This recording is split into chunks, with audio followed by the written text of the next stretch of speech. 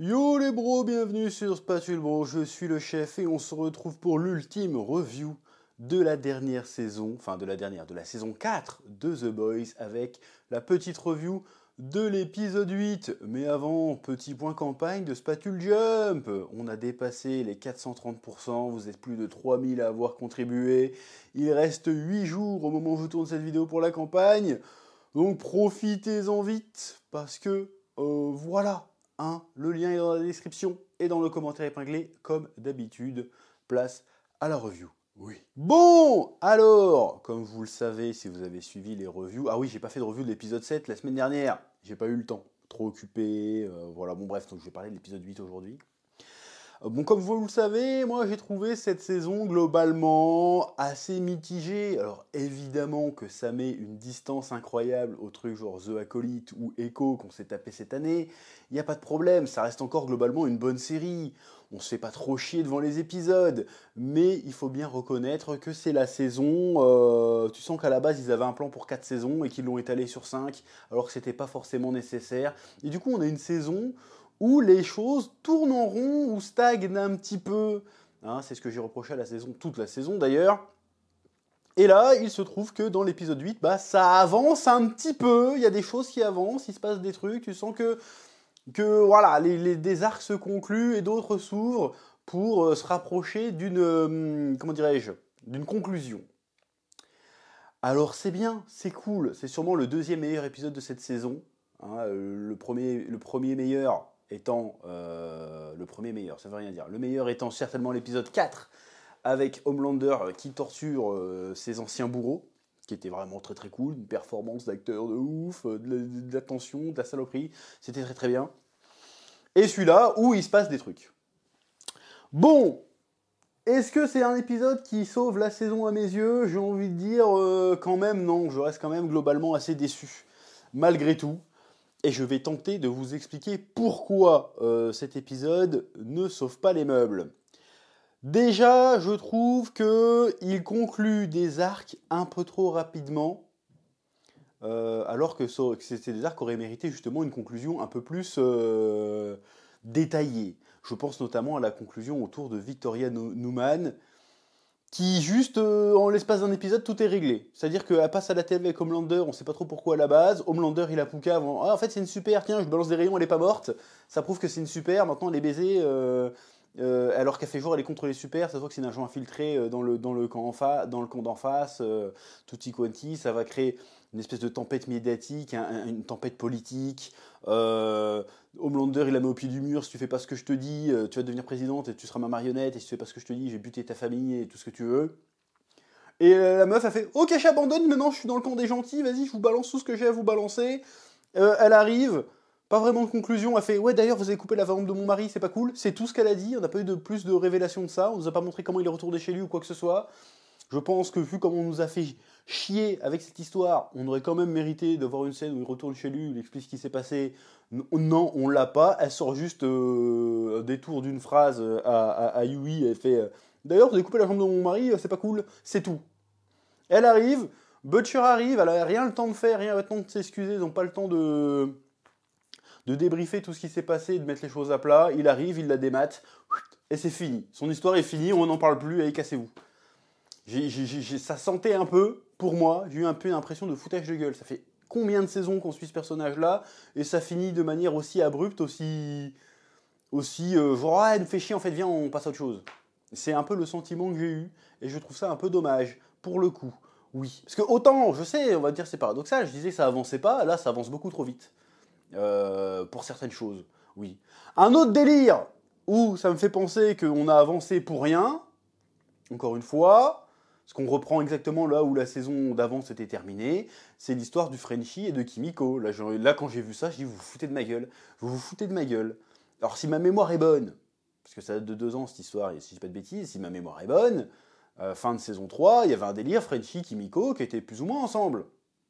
On arrive début de saison 4, il est avec un autre Kemé. Tu fais bon, c'est quoi cette histoire? Donc là, il y a toute cette histoire où il est avec le mec, il se fait larguer, euh, il, a, des angoisses, il s'en veut d'avoir tué plein de gens, il va se rendre à la police Pour l'épisode d'après, on le sort de prison. Il revient comme si rien n'était avec les, boys. Et, puis, bah, il se remet avec Kimiko, comme ça, euh, dans les dix dernières minutes de l'épisode. Et tu te dis, mais c'est quoi ce délire? Ça sort d'où ça? Et la Kimiko qui a fait, non, mais euh, finalement, j'ai envie d'être avec toi. Et il fait, ah d'accord. Et puis il se roule les pelles. Et puis voilà, ça y est, son couple. Qu'est-ce qui se passe? Ça veut dire que tout ce qui s'est passé avant n'a servi strictement à rien, en fait. Pourquoi vous n'avez pas directement enchaîné sur leur histoire et comment ils la vivaient? Ça aurait été dix fois plus intéressant. Euh, là, j'ai pas compris d'où ça sortait cette histoire-là. Là, ça sent le foutage de gueule. Sent, attends, en fait, on n'a pas énormément de trucs à raconter. S'ils sont en couple tout de suite, on n'a rien pour la saison 5. Viens, on dilue le bordel, on lui, met une side quest au Frenchie en attendant, pour l'amener nulle part. Hein, le délire. Euh, si, alors le délire, c'est quoi? C'est qu'en fait, il faut qu'ils apprennent à se pardonner eux-mêmes. Sauf que ça fait depuis je sais pas combien de saisons que c'est ça le délire, en fait, par rapport à tout ce qu'il a fait dans son passé. Et là, il, là tout d'un coup, au détour d'un dialogue, il fait Non, c'est vrai, t'as raison, Kimiko on va se pardonner nous-mêmes. Du coup, on est gentil, on va pardonner à Victoria Newman parce que ça demande du courage d'être gentil. Parce que les méchants, ils sont très méchants et c'est pas en étant plus méchants que les méchants qu'on va gagner. Du coup, euh, paix, amour sur terre, viens, on se roule des pelles. Je fais euh, non. Euh, je vois ce que ça veut raconter, hein. Mais la manière dont c'est fait, c'est du foutage de gueule, je suis désolé. Oui. Pareil, Homelander, il a fait, du, il a fait des allers-retours toute la saison. C'est-à-dire, euh, tu vois un épisode, il est plus sûr de lui, il doute. Euh, il est en crise existentielle. L'épisode d'après, c'est bon, il est sûr de lui. L'épisode d'après, il est re en crise existentielle. L'épisode d'après, il bute tous les scientifiques. Du coup, il est, c'est bon, il est, libéré, délivré. Euh, il commence à nouer des vrais liens avec son fils. Ça a été un père attentif et tout. L'épisode d'après, il est re, il est re, il est re en détresse. Et ainsi de suite, et ainsi de suite. Même jusqu'à la fin de l'épisode, là, il est toujours en détresse. Et puis c'est quand, que quand Sister Siege et Là aussi, pareil. En fait, j'avais tout prévu. J'avais prévu que. Là, c'est Light Yagami. Light Yagami. J'avais prévu que vous me virerez. Parce que vous êtes vous. Et si vous avez tous les, plans tous les détails de mon plan, vous aurez tout fait foirer. Ah, maintenant, je reviens vers vous et je vous donne les clés du pays. Vous allez pouvoir mener, euh, mener le pays euh, comme vous le voulez. Et moi, j'ai juste fait ça pour mon kiff. Allez, salut. À bientôt. J'avais tout prévu. Ciao, bye. Tu te dis, mais. Euh, ça en fait des tergiversations pour arriver là, alors qu'ils auraient pu aller droit au but depuis le début. Bon, j'espère que maintenant, vu qu'après c'est la dernière saison, l'avantage c'est qu'ils vont être obligés de vraiment conclure l'histoire. Ils pourront plus faire des détours, ils pourront plus euh, les, traîner les pattes, ils seront obligés d'aller au direct, comme c'était le cas dans les deux premières saisons, par exemple. Donc ça, c'est cool déjà. Autre truc qui avance, euh, peut-être même le seul truc qui avance réellement finalement, euh, c'est le, délire de Butcher. Butcher, toute la saison, il a fait de la figuration, il n'était pas, pas au top de sa forme, euh, il était en train d'être de, partagé entre sa bonne conscience et, son côté sombre, son côté sombre étant, comment dirais-je, symbolisé par l'apparition de Jeffrey Dean Morgan, qui lui donne des mauvais conseils, et puis sa bonne conscience, qui était son ex-femme morte, et sa relation avec le petit, je sais plus comment il s'appelle, je sais plus comment il s'appelle le gosse. Merde. Zut. Bref, je vais l'appeler le gosse d'Homelander. Euh, donc un coup, il essaie de se rapprocher de lui, de le piéger. Finalement, il fait non. Et finalement, euh, le gosse, pareil. Un coup, il se rapproche de son père. Un coup, il fait non, je préfère Butcher. Et l'épisode d'après, il se rapproche de son père. Puis en fait, non, mon père, il me fait peur. Je vais voir Butcher. Il fait que des allers-retours. Il a le cul entre deux chaises. On sait pas trop ce qu'il fait. Là, dans cet épisode-là, il a l'air de se décider, le gamin, c'est-à-dire non, euh, je vais retourner avec Homelander, j'en ai rien à foutre qu'il ait violé ma mère, j'en ai rien à foutre qu'il est un psychopathe, euh, vous, voulez me, vous voulez aussi me servir de moi euh, pour que plus tard je tue mon propre père, hors de question, laissez-moi partir d'ici. Il bute la Mallory, et du coup là, le butcher, il dit bon, c'est bon, le, gamin il est foutu, je passe du côté obscur de la force. Voilà, bon, ça, ça a avancé. Enfin, c'est bon, on sait que le petit jeune, a priori, il est aussi taré que son père ça devient confirmé. Il n'a pas l'air de sentir rien quelconque remords ou hésitation quand il explose la vieille. Donc a priori, il est foutu. Donc du coup, Butcher n'a plus d'attache. Il fait genre bon, ok, je vais tous les fumer. Et il revient en mode Dark Butcher, euh, qui est un truc intéressant. Bon, à part son, pouvoir d'avoir des, des tentacules, je trouve ça juste dégueulasse et vraiment pas fou en fait comme pouvoir. Je préférais quand il balançait des lasers comme Homelander, mais bon bref, allez admettons y a le symbolisme du, monstre qui a grandi en lui, euh, si tu veux, pourquoi pas. Alors que j'ai trouvé cool, c'est qu'il est arrivé rajeuni, en forme et tout, beau gosse. Salut En fait, je vais pas mourir, je suis guéri parce que j'ai c'était le côté obscur. Attendez, il y a Newman qui est là. Non, on fait pas de deal, on va la buter. il la coupe en deux de manière dégueulasse. Euh, et tu sens qu'il là, il va faire du sale. Alors ça, ça me plaît parce que ça veut dire qu'on se rapproche du Butcher des comics. Encore une fois, je veux pas spoiler les comics, même si a priori ça prend une direction totalement différente, même si bon, ça rejoint un peu la fin du comics là pour l'instant, on dirait. Euh, dans le côté, vas-y, Homelander devient euh, le maître des États-Unis. Euh, le Butcher sans limite, le Butcher côté obscur, le Butcher psychopathe, on va rigoler. Là, si là, s'ils vont vraiment au bout du délire dans la saison prochaine, ça risque d'être épique, ça risque d'être impressionnant, ça risque d'être jouissif. Voilà. Donc j'ai hâte de voir ce qu'ils vont faire. Donc là, je suis content. Ça a enfin avancé de ce côté-là. Le côté, vas-y, ils ont perdu, ils sont en, train de se séparer, ils se font tous choper les uns à côté des autres. Voilà, là, c'est dans une situation euh, de détresse. Ils sont obligés d'y aller. Il n'y a plus les faux semblants en mode, il faut qu'on se cache, euh, il faut qu'on essaye de, choper des preuves. Non, maintenant, la confrontation va être directe, la confrontation va être physique. Euh, on va partir sur de vrais pugilats. C'est tuer ou être tué. Là, ça va être intéressant. Mais je trouve dommage que la saison ait été aussi peu euh, passionnante et riche qu'elle aurait pu être. Voilà, je trouve qu'on a fait beaucoup de surplace, beaucoup de scènes choc pour rien. Euh, voilà, c'est un petit peu dommage que les choses avancent réellement qu'au tout dernier épisode. Voilà, ça c'est vraiment dommage pour le coup. Autre chose qui avance, c'est bon du côté de chez que les 7 qui se mettent à buter tous les mecs qui n'ont pas confiance, dont la Ashley qui jusqu'à présent léchait les culs comme pas possible pour rester en vie, et quand elle voit qu'elle va quand même se faire buter, elle va prendre du composé V. J'y aurais pas pensé, en vrai. Donc, quand, elle était quand, elle était fait ça, je suis putain, mais oui Surtout que c'est du vrai composé V qu'elle a pris, c'est pas du, temporaire. Et elle se transforme en espèce de Gollum bizarre, donc je suis très curieux de voir à quoi elle va ressembler dans la prochaine saison. Parce que ça aussi, ça avance. Il y a A-Train qui a avancé, mais tous les autres, euh, voilà quoi. Même The Deep, The Deep, euh, l'homme poisson. L'homme poisson, encore une fois, il a fait que du surplace, mais ça c'est depuis le début de la série. C'est-à-dire, il n'a pas confiance en lui, il retrouve confiance en lui, il n'a plus confiance en lui, il retrouve confiance en lui, et il repère confiance en lui. Là, l'épisode d'avant, il, tue il tue sa meuf poulpe, donc euh, vas-y, reprenez confiance en lui, mais quand il se rend compte que Sister Sage foutait de sa gueule, bah du coup il a repu confiance en lui. Et là, à la fin de l'épisode, il reprend confiance en lui parce qu'il bute des mecs. Euh, bon, va falloir que ça avance aussi cette histoire là, un petit peu à un moment donné, parce que là, il commence à être, être relou comme personnage en fait. Oui. Bon, et Starlight aussi, là, retrouve ses pouvoirs. Du coup, bon, tu comprends la métaphore, tu comprends le message. C'est-à-dire qu'à la fin de l'épisode, elle sait qui elle est parce qu'elle a face à une situation euh, extrême et du coup elle se redit bah, je suis une héroïne donc je vais bon je vais abandonner Yui parce que voilà et je retrouve mes pouvoirs je m'envole maintenant j'ai un but euh, et mon but c'est de combattre Emlander voilà elle, a plus de elle a plus de doute sur qui elle est sur son identité ou quoi que ce soit. D'ailleurs c'est aussi pour ça la métaphore derrière le métamorphe qui prend sa place et qui peut lire ses pensées et qui la met face à ses doutes face à ses dilemmes face à son hypocrisie. Voilà donc à la fin Enfin, elle dépasse ça, elle retrouve ses pouvoirs et elle redevient l'héroïne euh, Stella. Et puis voilà, c'est bien. Ok, ça c'est cool, y a pas de souci. Dommage que ça se fasse que dans le dernier épisode et que tout le long de la série, elle était un petit peu transparente. Voilà. J'ai pas trop aimé la phase où elle a fait la gueule à Yui parce qu'il s'est tapé son clone. Euh, le, gars, c'est pas de sa faute non plus. Mais bon, j'ai compris. En fait, elle en voulait pas Yui, elle en voulait elle-même parce que parce qu'elle était meilleure que moi. Voilà. Bon.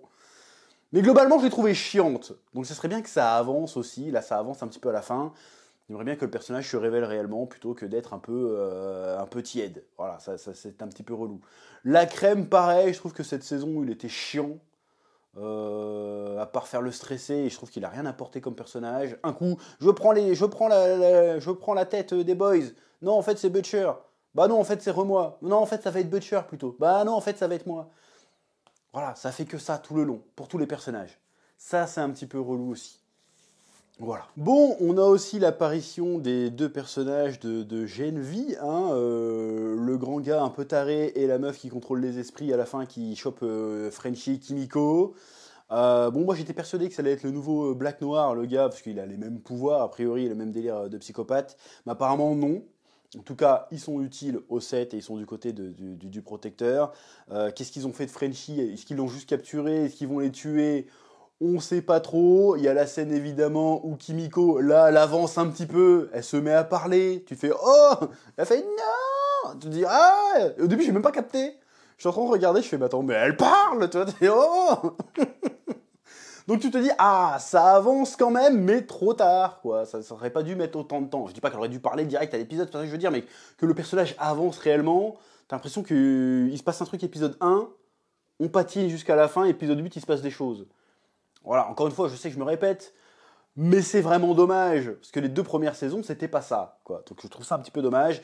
Et puis, on a la révélation en deuxième post-générique que euh, Soldier Boy n'est pas mort et qu'a priori, il y a des chances qu'il s'allie avec Homelander. Donc là, ça va être la giga de mer, euh, là, ça va être euh, apocalyptique. Donc franchement, j'ai franchement hâte de voir la suite quand même. Même si cette saison, je trouve pour moi, pour moi, était un petit peu en dessous, j'ai franchement hâte de voir la suite parce que maintenant, en fait, ils ont pu à remplir des épisodes. Maintenant, il leur reste 8 épisodes pour terminer. Donc ils vont raconter ce qu'ils ont. Ce ont euh, parce que tu sens que le problème de cette saison, c'est que tu sens qu'elle lève le pied. Là, ils n'ont plus de raison de lever le pied. Ils vont mettre l'accélérateur à fond. Ça va être une dinguerie. Je l'espère. Je l'espère de tout cœur. Voilà, donc l'épisode était cool. L'épisode était sympa. Il y a eu des passages marrants, des passages chocs, évidemment. Mais j'aurais aimé que cette saison soit un peu mieux rythmée que ça. Mais bon, encore une fois, euh, c'est pas, dramatique non plus, ça reste quand même mille fois mieux que The Acolyte, mais ça aurait pu être dix mille fois mieux. Donc j'ai hâte de la prochaine saison, je pense qu'on va se la bouffer pendant. On va pas se la bouffer avant 2026, très certainement. On verra où ça va, où ça va aller. Voilà. Bon, tu sens qu'ils commencent à changer un peu leur fusil d'épaule là, parce que là, à mon avis, ils vont voir la réécrire un petit peu la saison 5, vu que là, euh, bon, ça se sentait toute la saison. Hein. Ouais, on est en période d'élection aux États-Unis, donc du coup. Euh, bon, on va pas te dire pour qui voter, mais on va te dire pour qui pas voter. voilà, il y avait un peu de ça, hein, le parallèle Homelander, Donald Trump, il est un peu obvious. Hein, on le découvre pas cette saison non plus, mais là ça devenait un petit peu vraiment trop caricatural quand même. Euh, c'est bien se foutre de la gueule du truc, mais un peu de subtilité que diable, un petit peu de 1, parce que là c'était un petit peu grossier, même à la fin le discours de la, de la, de la rouquine là qui dit oh, la marre, tous ces Wookiees qui va transformer nos gosses en transgenres, machin. Je fais mais sans déconner La caricature elle est. Bon, au bout d'un moment, c'est plus drôle, quoi. Je veux dire, euh, ça peut être drôle une fois, deux fois, là, là, à la fin, ça, laisse tomber, ça devient vraiment. Euh, ça devient vraiment une caricature, quoi. C'est dommage. Alors, encore une fois, tu ferais la même caricature de manière équilibrée. Alors, ça a toujours tenté, surtout, attaqué surtout un côté, évidemment. Mais quand même, essaye d'équilibrer un petit peu le, délire, quoi. Là, c'est vraiment, eh, bonjour, on est les méchants, on n'aime pas les woke. c'est bon, euh, calmez-vous, quoi. Donc on va voir, surtout que maintenant, vu de l'actualité, ce qui s'est passé, ils ont même mis un petit message. Alors je l'ai pas vu moi sur Amazon ce message-là, mais ils ont quand même mis un petit message. Euh, attention, c'est de la fiction, hein, rien à voir avec le. Et puis maintenant, quand ils veulent comparer euh, Homelander, ils font non, non, mais en fait, euh, dans la prochaine saison, Homelander, ça sera un peu Dark Vador, ça sera un peu l'Empire dans, Star Wars. Bon, hein.